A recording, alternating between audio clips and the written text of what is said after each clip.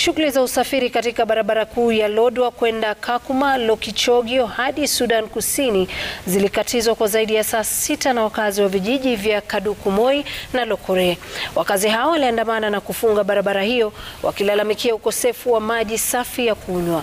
Kulingana nao, wamekosa maji kwa muda mrefu na kuilaumu serikali ya kaunti kwa kukataa kuwachimbia visima vya maji.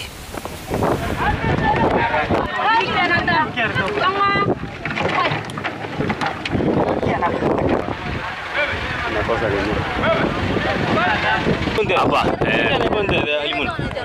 Mnajua Kiswahili? Ile ile ile information umetupea.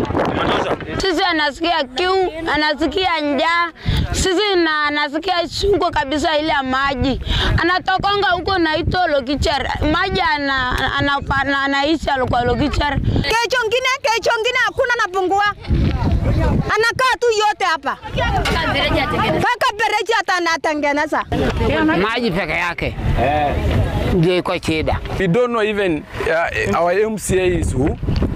We have never seen him since 2013 up to date. We never, we have never seen him.